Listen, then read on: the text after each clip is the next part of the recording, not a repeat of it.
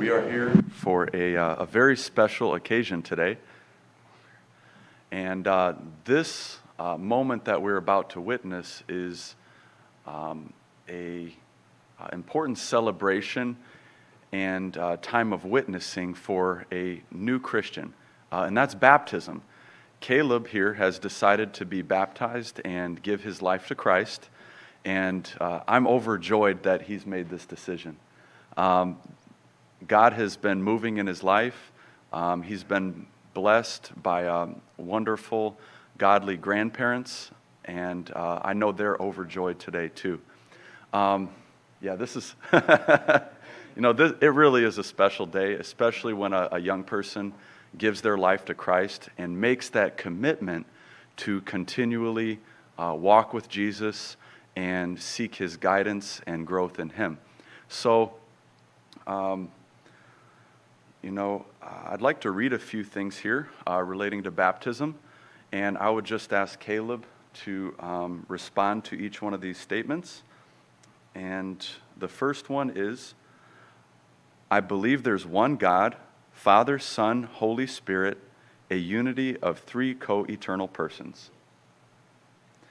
I accept the death of Jesus Christ on Calvary as the atoning sacrifice for my sins and believe that through faith in his shed blood, I am saved from sin and its penalty. Amen.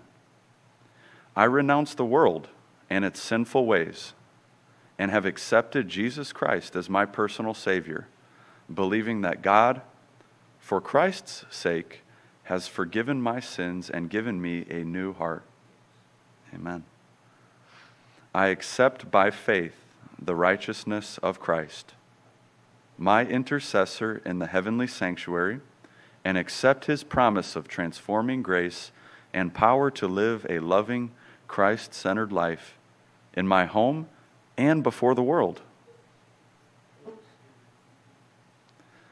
I believe that the Bible is the inspired Word of God, the only rule of faith and practice for the Christian.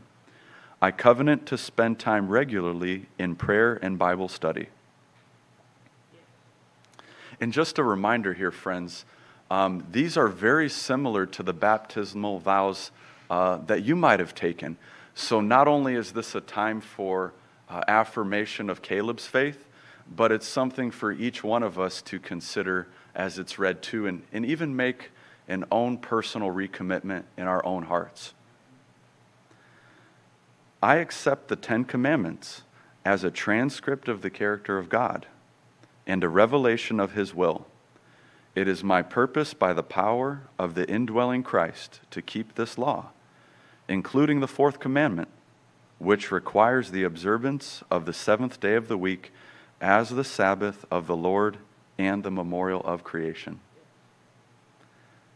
I look forward to the soon coming of Jesus and the blessed hope when this mortal shall put on immortality. As I prepare to meet the Lord, I will witness to his loving salvation, and by life and word help others to be ready for his glorious appearing. I accept the biblical teaching of spiritual gifts and believe that the gift of prophecy is one of the identifying marks of the remnant church.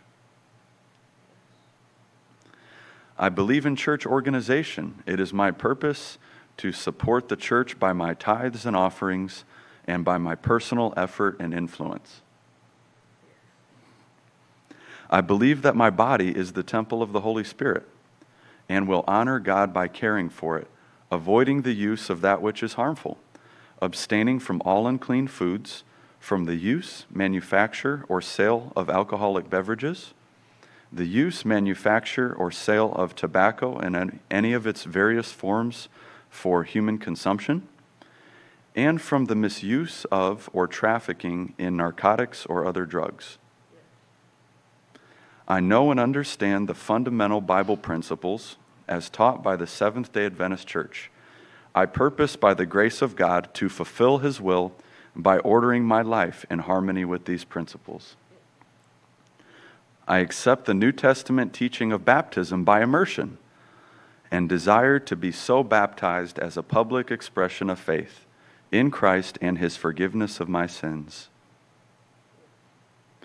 I accept and believe that the Seventh day Adventist Church is the remnant church of Bible prophecy, and that people of every nation, race, and language are invited and accepted into its fellowship.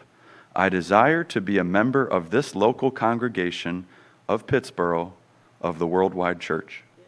Amen. You know, friends, um, we had that evangelistic series uh, back a few months ago, and uh, Kaleb was there for, for many meetings.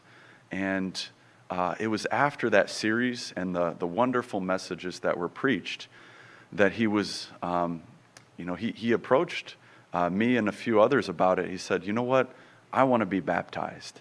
And so, in those moments during the evangelistic series, uh, Kaleb's heart was being touched by the Lord.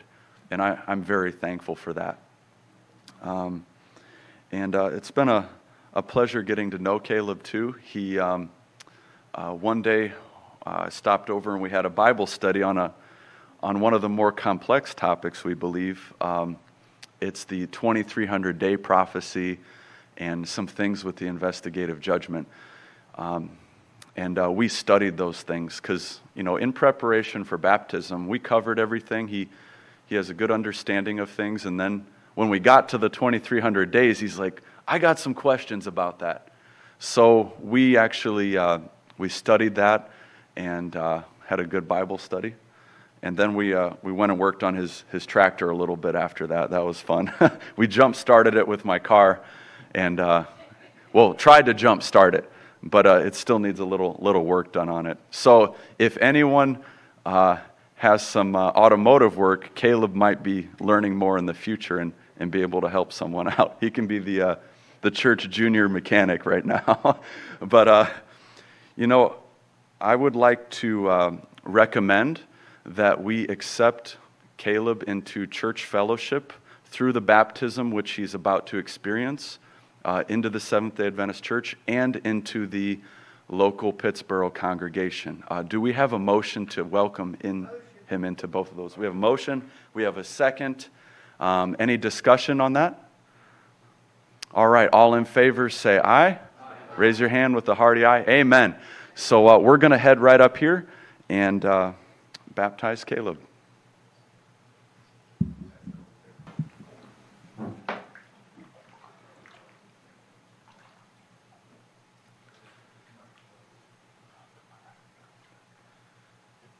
So, this is a very special moment, friends. Um, throughout the Christian uh, eras, we've seen people baptized, committing their life to Christ.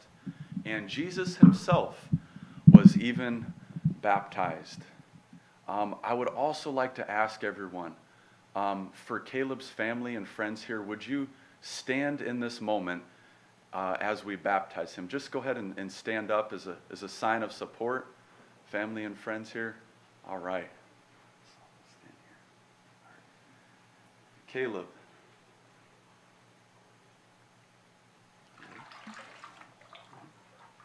I baptize you in the name of the Father and of the Son and of the Holy Spirit.